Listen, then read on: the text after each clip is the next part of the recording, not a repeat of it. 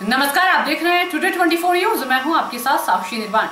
उत्तर प्रदेश के जनपद मुरादाबाद के DSM agro private limited paper mill Agwanpur के कर्मचारियों का बीते काफ़ी लंबे समय से विरोध प्रदर्शन चल रहा है। सभी कर्मचारी मिल के गेट पर काफ़ी लंबे समय से विरोध ज़ाहिर कर रहे हैं और धरने पर बैठे हैं, लेकिन अभी तक प्रशासन की ओर से कोई कार्यवाही नहीं की गई है और किसी भी कर्मचारी की कोई मांग पूरी नहीं की गई है। 24 सितंबर 2021 से फैक्ट्री के गेट पर लगभग 60 कर्मचारी आंदोलन कर रहे हैं, लेकिन अभी तक कोई कार्यवाही नहीं हुई है, जिससे परेशान होकर सभी कर्मचारियों ने राष्ट्रपति, भारत सरकार, राष्ट्रीय अध्यक्ष मानव अधिकार आयोग, नई दिल्ली, माननीय मुख्य न्यायाधीश, सर्वोच्च न्यायालय, नई दिल्ली, माननीय मुख्य न्यायाधीश, हाईकोर्ट, इलाहाबाद से इच्छा मृत्यु की मांग की है। पेपर मिल के गेट पर बैठे कर्मचारियों ने पहले तो विरोध प्रदर्शन की फ्लैक्सी लगा रखी थी, लेकिन अब सभी कर्मचारियों ने मिलकर आज़ादी के अमृत महोत्सव पर इच्छा मृत्यु के लिए प्रार्थना पत्र लिखी हुई फ्लैक्सी पर अपने विभिन्न मांग रखते हुए माननीय राष्ट्रपति, भारत सरकार एवं